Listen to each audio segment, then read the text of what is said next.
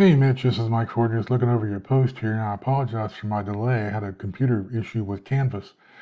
Uh, I was doing some stuff earlier today, and then it stopped working.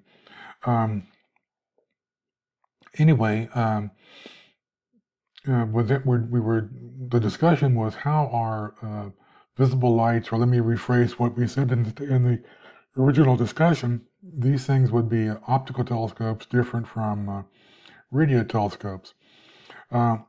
And uh, there are a couple of differences, but one of the biggest ones that I'm, I keep asking questions about because I don't really uh, uh, know the answer to this is is it, is there a good way to form an image from a radio telescope that would be comparable to the image from a uh, let me make sure I said that right.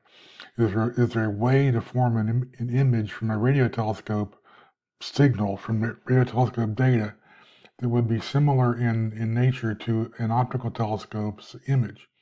Is there a way to do that? And what's the best way we could do allow that?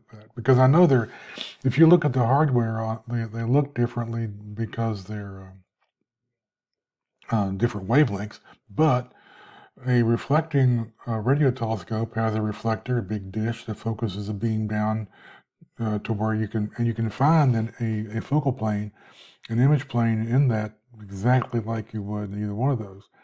Uh, but I have I have rarely seen a good uh, image, and I'm wondering what the uh, I'm not sure I ever have really seen a good image.